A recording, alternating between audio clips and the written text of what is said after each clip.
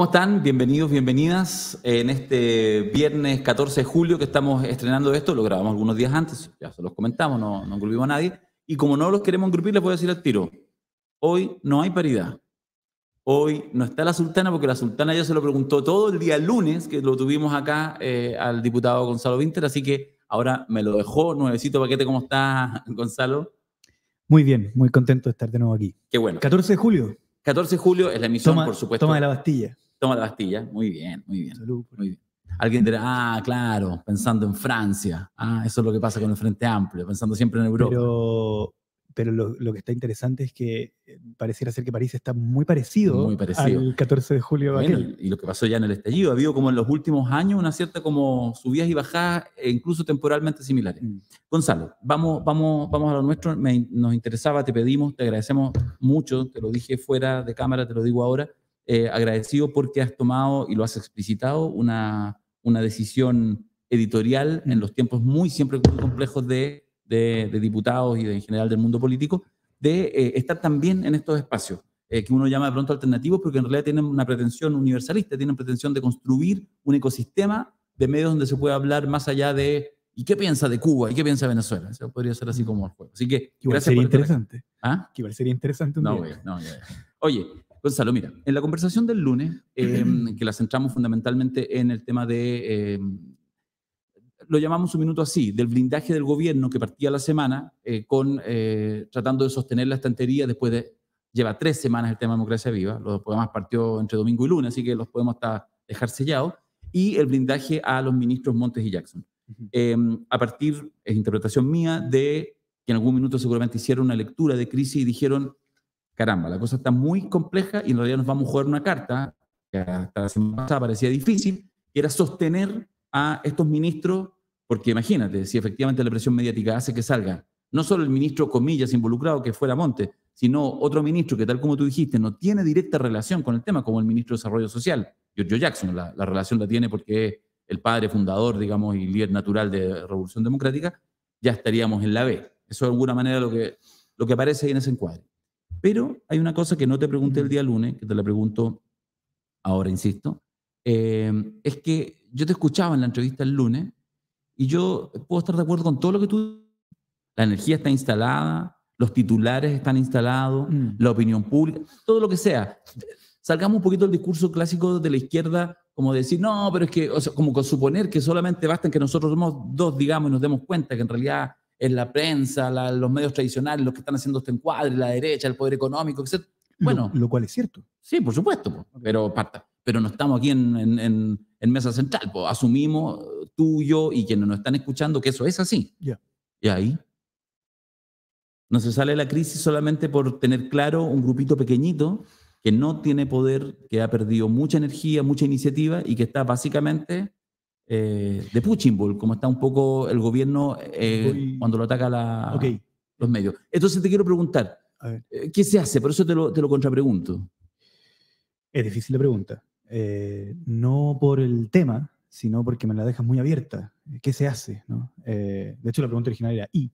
Mm. Pero me me voy a hacer cargo de algunas cuestiones desde lo más concreto hasta lo más Dale. abstracto. Lo más concreto, que un presidente no saque a un ministro no es sinónimo de blindarlo. Digamos, lo normal es que todos los días los ministros sean ministros y el presidente no los saque. Para sacar a un ministro se requiere una razón, a mi juicio. ¿ya? Eh, y una- buena razón. Eh, una buena razón que tiene que tener el presidente de la República y, y nadie más. Y lo que pasa con el ministro Jackson y con el ministro Montes no es que yo los vea blindados por el presidente, es que hasta el momento nadie ha presentado una buena razón para sacarlos. ¿ya? Eh, y ahora con los marcos. Efectivamente, yo creo que la derecha ha hecho una operación. Cuando digo operación no me refiero a algo ilegítimo, porque No, una operación política. para eso ellos financian los medios que financian y para eso, digamos, el señor Edwards pone un diario, para eso en el- la libertad que existe en Chile, eh, digamos, el señor Sayé pone su diario, etcétera. Han intentado llevar la crisis hacia George Jackson cuando, es bueno que los auditores lo sepan, hasta el momento no hay ninguna relación de George Jackson con el tema independiente de que mi- militan en el mismo partido. Ahora, si aplicáramos la lógica de que todos los militantes de un partido son culpables de las cosas que hacen todos los militantes de ese partido, obviamente, entonces vuelve el Frente Amplio a ser, digamos, una de las fuerzas políticas más... Bueno, pero- pero, pero, pero- a hacer Sí. cargo.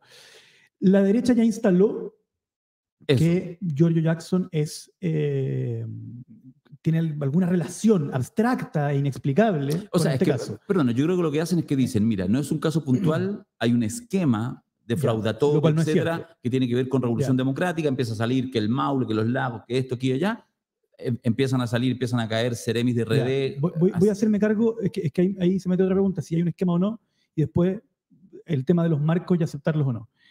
Si hay un esquema o no, yo, eh, bueno, estoy de acuerdo con la frase de mi presidente de partido, Diego Ibáñez, en la tercera, que dijo no hay que poner las manos en fuego por nadie, pero tampoco hay que eh, decir que han ocurrido cosas que todavía no aparecen. Entonces, voy a plantear lo siguiente. El esquema de fundaciones no es una creación del Frente Amplio ni una creación irregular, sino que es una creación del mismo Estado de Chile Sí, la externalización para poder- para poder hacerse cargo, y yo estoy dispuesto a discutir si eso es bueno o malo. Sí. ¿ya? De hecho, adelanto que tengo una posición crítica frente a ello. ¿ya? Que haya muchas fundaciones haciéndose cargo de temas que son, de, de tareas que son propiamente estatales, no significa que haya muchas fundaciones robando plata. ¿ya? Y aquí, además, quiero citar al periodista de Timeline que hizo estallar este, este caso, Jorge Ortiz. Jorge Ortiz, que dijo, lo que pretendía Andrade y compañía era quedar como salvadores ante la gente. No estoy citando literal, así que hago el, hago el recuerdo. Y es súper interesante esa frase, porque en el fondo, si pretendía quedar como salvador, lo que está diciendo es que no pretendía robarse la plata, sino que pretendía hacer la tarea que le había sido encomendada y hacerla de tal modo que los receptores de esa tarea lo consideraran un salvador, Mm. citando a, a- a este tipo. Pero sigue siendo una lógica, de Yo acuerdo, estoy pero completamente en contra de la cosa de lo, sé, y ha sido súper claro en eso. no es un esquema, no hay un esquema para robarle plata al Estado. Está perfecto. Eso es mentira. Hasta el momento, ojo, hasta el momento, quizás descubren algo, pero hasta el momento lo que se ha encontrado, no hay un esquema para robarle plata al Estado. Entonces, si no hay un esquema, ¿cómo vinculas al fundador del partido con, ya, ahora voy, ya, ya está instalado el marco. Entonces dejamos atrás que yo considero que el marco es injusto, lo resolvemos y lo dejamos atrás y pasamos a ya una vez A los efectos. Ya. Yo creo O sea, ¿cómo se recupera el Frente Bien. Amplio de esto? No, yo, no, yo- no, no, esa- esa es yo otra no te pregunta, pregunto, esa yo es otra ojo, pregunta. ojo que yo no te pregunto por RD, porque, porque esa- como ya lo espera. dije varias veces, Esa es otra pregunta y yo quiero muerto. hacerme cargo de la original. Sí, ya. ya. Que es, ¿qué haces cuando ya la derecha logró instalar que George Jackson está involucrado en un caso de corrupción, cuando George Jackson no está involucrado en un caso de corrupción? Yo creo que hay dos caminos o, o dos reflexiones que hay que hacer. Primera, cuando un gobierno acepta todos los marcos que le pone su adversario, tiene que distinguir una cosa. Uno, mi adversario quiere como la estabilidad del país y que sus ideas se concreten, o quiere verme fracasar. Y yo creo que en el caso de la derecha actual en Chile, su intención es ver fracasar al gobierno. Yo no creo que la derecha esté trabajando, no es que quieran que Boric tome sus ideas para que el país esté bien. Yo creo que quieren que Boric le vaya mal. Ujú. ¿ya?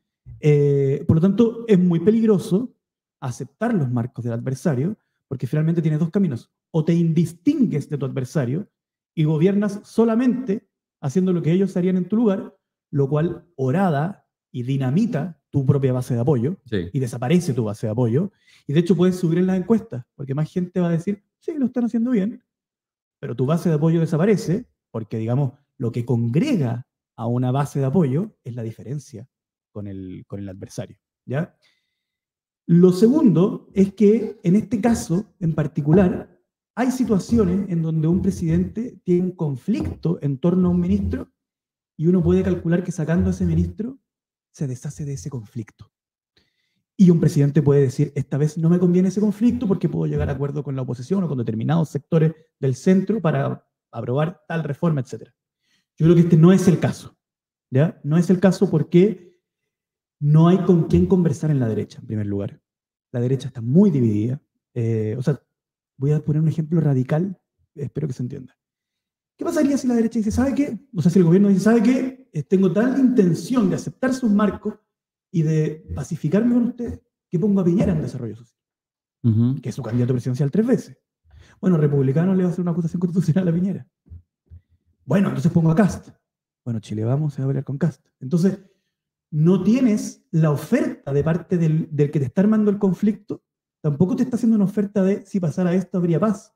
De hecho, se fueron contra la subsecretaria de vivienda y en el instante en que salió la subsecretaria, empezaron a perseguir al ministro Monte. No, sí, sí, es Entonces, evidente. en el instante en que saques a Monte, van a perseguir al presidente. Mm. Recordemos que en este momento tienen acusado constitucionalmente al ministro Ávila. Sí, le- le- Amenazaron con una acusación constitucional contra la ministra eh, de Salud la semana pasada y ahora están pidiendo la cabeza de Montes y de Jackson. Entonces, la oposición ha pedido explícitamente la renuncia de cuatro ministros en una semana.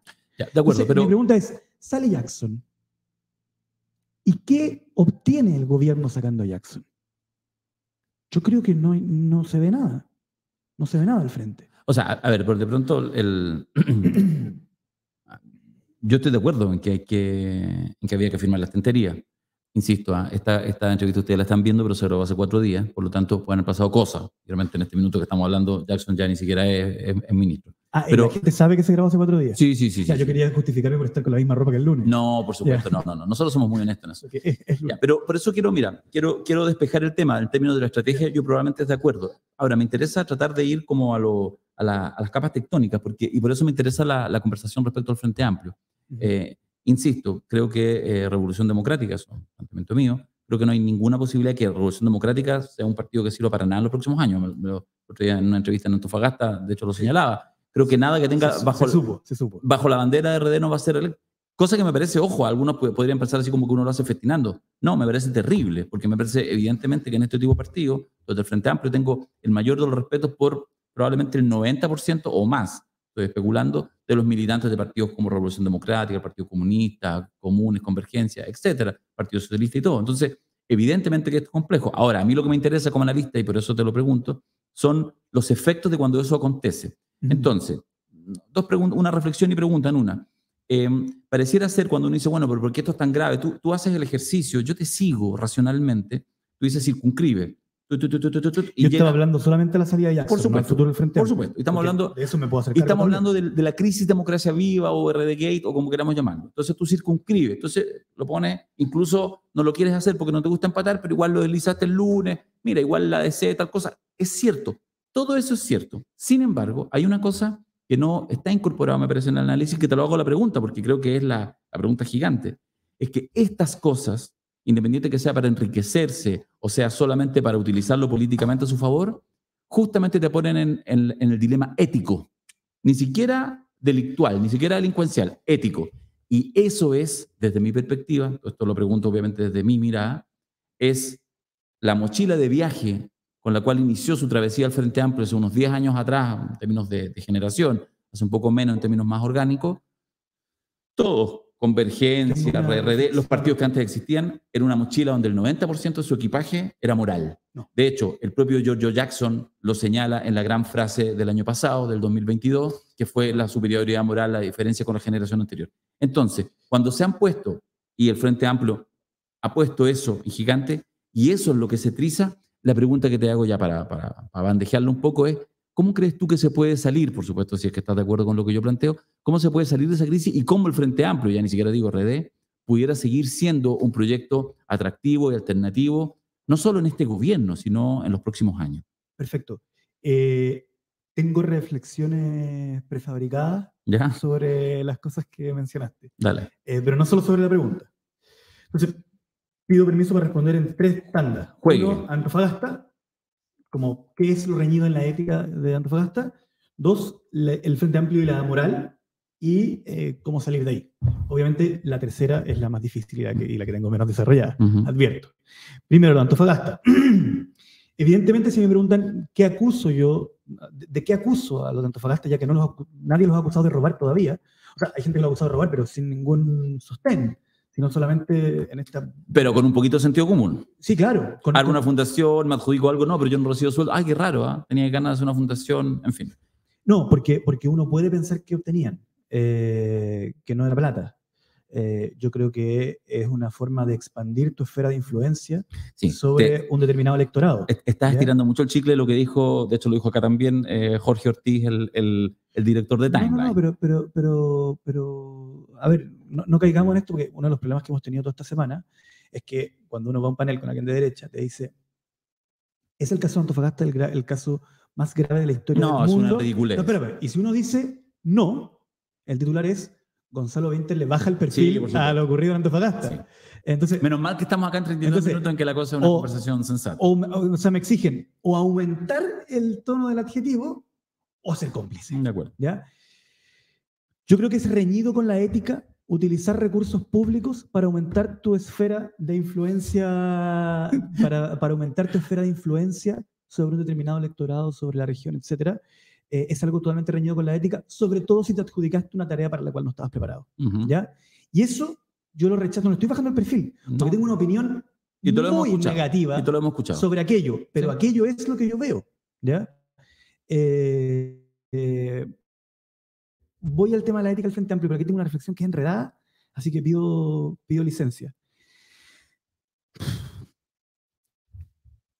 La teoría de, la- de nuestros adversarios so- sobre qué planteaba el Frente Amplio sobre sí mismo tiene que ver con, ustedes fueron muy críticos de los casos de corrupción. Y uno responde naturalmente, obvio que cuando coinciden cronológicamente el surgimiento del Frente Amplio con el estallido de Penta, SQM, Corpesca, etc. Y yo creo que lo natural sería que nosotros dijéramos, esto está mal, ¿cierto? Y que todos deberíamos decir, esto está mal. Y por lo tanto, ¿qué esperaban que dijéramos? Que dijéramos como, oigan, miren, eh, está bien que haya corrupción, si total a nosotros también nos van a pillar en el futuro, así que todo bien. No, pues está bien que cuando hay caso de corrupción, todos lo señalemos. Entonces, yo digo ya, pero ¿qué es lo que me achacan? Y lo que me achacan es lo siguiente, que supuestamente el Frente Amplio habría dicho, venga al Frente Amplio, ¿por qué? Porque, en el, porque lo que nos reúne, el elemento de la esencia de lo que se trata el Frente Amplio es de una garantía, ocupo explícitamente la palabra garantía, de que si hubiera un gobierno del cual son parte partidos del Frente Amplio, ningún funcionario público podría tener ningún tema reñido con la probidad con la ética. Frente Amplio es garantía de aquello. Como esa idea es francamente estúpida y nadie puede creer que ningún partido puede sostenerse sobre aquello, porque además es súper despolitizada, además de ser imposible garantizar eso, es una idea súper despolitizada, yo tengo que decir, ok, más allá de pelearme de por qué me achacan una idea tan estúpida, tengo que preguntarme, ¿por qué creen eso de mí? ¿Por qué me acusan de, por qué me acusan de haber planteado aquello? Y yo digo, claro, Penta y SQM no solamente fueron contemporáneos al surgimiento del Frente Amplio, que es así, sino que también los tomamos en parte como bandera. Y aquí viene la explicación compleja. Nosotros no tomamos como bandera Penta y SQM en el sentido que nuestros adversarios nos lo achacan, que es garantizamos que nunca va a haber boleta ideológicamente falsa o algo reñido con la ética, el tema de la garantía. El punto para nosotros con Penta y SQM no es la boleta mal emitida, no es la, no es la evasión tributaria. Obviamente que queremos que eso se juzgue en los tribunales, que sé yo, que haya juicio, etcétera, que se cumpla el código penal, digamos. Nuestro problema era otro, y aquí voy. Y nuestro problema está en la, en la defensa que hace la propia derecha de sí misma en estos casos. ¿Qué dice la derecha? Parafraseando en, parafraseando en general y en abstracto, no citando a alguien en concreto. Dice, yo no legislé para SQM porque me hubiesen sobornado. Legislé para SQM porque soy neoliberal Ujú. y creo, tengo la teoría hay de que darle que- el mar a siete familias. de que, de que hay que darle el mar a las siete familias y que, y aquí viene la parte teórica, lo que es mejor para el gran empresariado es lo mejor para el pueblo. Los intereses de los ricos son coincidentes con los intereses de los pobres. No legislé pro bancos porque Penta financiaba nuestras campañas, sino que Penta financiaba nuestras campañas y además yo soy pro bancos. ¿Ya? Ujú. Es ese el tema que nosotros agarramos como bandera, donde nosotros decimos, ¿sabe qué? Yo quiero hacerme la siguiente pregunta. Cuando surge el Frente Amplio, lo quiero explicar, ¿cómo sería la legislación bancaria en Chile si los políticos no estuvieran financiados por un banco? Para recordarle a la gente, Penta es un banco. ¿Cómo sería la legislación pesquera en Chile si los políticos no estuvieran financiados por la pesca? ¿Cómo serían los programas de gobierno de la concertación si no hubiera importantes personeros de la concertación en directorios de FP? Y eso no es una crítica moral, no quiero decir que sean pecadores, sino que nosotros teníamos una teoría que era la siguiente. Los intereses del gran empresariado, de las AFP, de las pesqueras, de las mineras, no son coincidentes y muchas veces son, contra, son contradictorios con los intereses de las mayorías. Y creíamos que esa idea merecía ser representada. En ese sentido, que es un sentido muy político, nosotros tomamos Penta, SQM y Corpesca como bandera, en el sentido de no voy a legislar en representación del interés del que me paga, Mm. porque quiero representar al endeudado del CAE y no al banco que ganó con el CAE. Quiero representar los intereses del pequeño pescador artesanal, etc. Y yo creo que eso, de alguna forma, lo hicimos. Y de hecho, nuestra actual buena relación con la concertación no tiene tanto que ver con que nosotros hayamos bajado el tono. También tiene que ver con que los programas hoy día del socialismo democrático se parecen más a los programas originales del Frente Amplio que a los últimos de la concertación, ¿ya? A nivel programático. Entonces, hubo también un relativo acuerdo, y hoy día, cuando tú le preguntas a, las personas del socialismo democrático, ¿crees que sería positivo tener ministros que vengan saliendo del directorio de una minera o de una FP? te dicen que no, y justamente ahí se funda la crítica. Dicho eso, yo creo que el Frente Amplio tuvo un ciclo exitoso de eh, poder articular gente para hacer avanzar su idea, y creo que de alguna forma avanzaron, hoy día se un retroceso, pero eh, eh, que fue positivo que, que estuviéramos allí representando esa idea. Ahora viene lo siguiente. Descartando el tema de la garantía, la tesis de la garantía que expliqué recién, viene la pregunta política.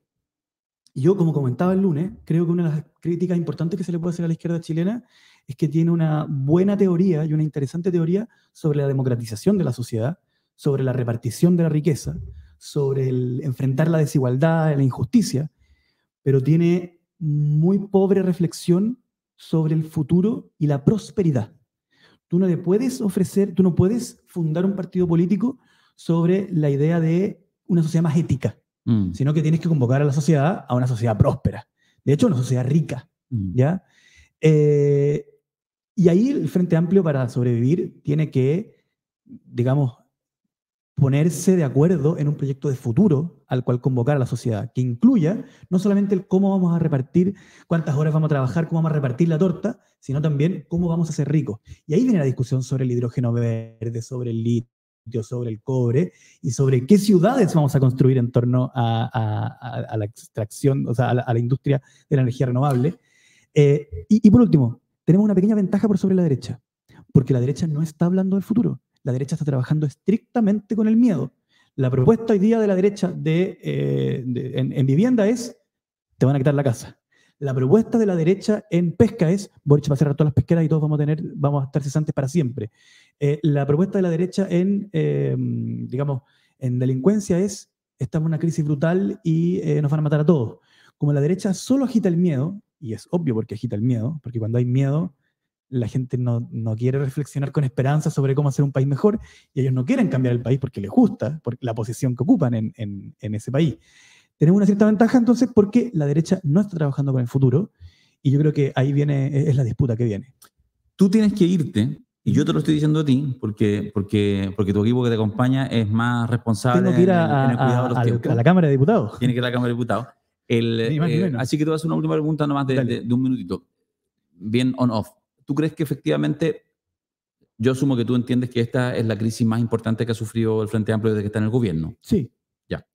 Eh, ¿Tú crees que efectivamente es cosa de un par de semanas llegará otro tema y este pasará y entrará en otro? No. Eh, creo que es, es complicada la pregunta, porque creo que el gobierno va a sobrevivir, creo que el Frente Amplio va a sobrevivir, pero que las marcas de esta crisis van a quedar como todo, como todo proceso, eh, te cambia, te modifica.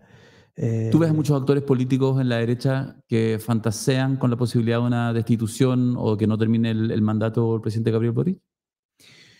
No, y sí, veo algunos, pero los veo más interesados en que el presidente Boric no cumpla su programa. Más que que no cumpla su mandato. Sí, eh, para ellos es muy importante que no cumpla su programa mm. por los intereses que representan.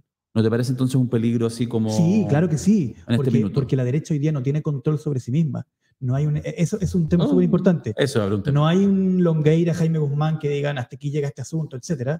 Eh, nadie en la derecha tiene control ni un liderazgo fuerte sobre la derecha, por lo tanto, digamos, uno se puede intentar por acá y uno se puede intentar por allá. Digamos que hasta acá estaban enredados algunos días atrás con sus consejeros republicanos. Pero yo creo que lo que más los congrega es que el presidente no cumpla su programa.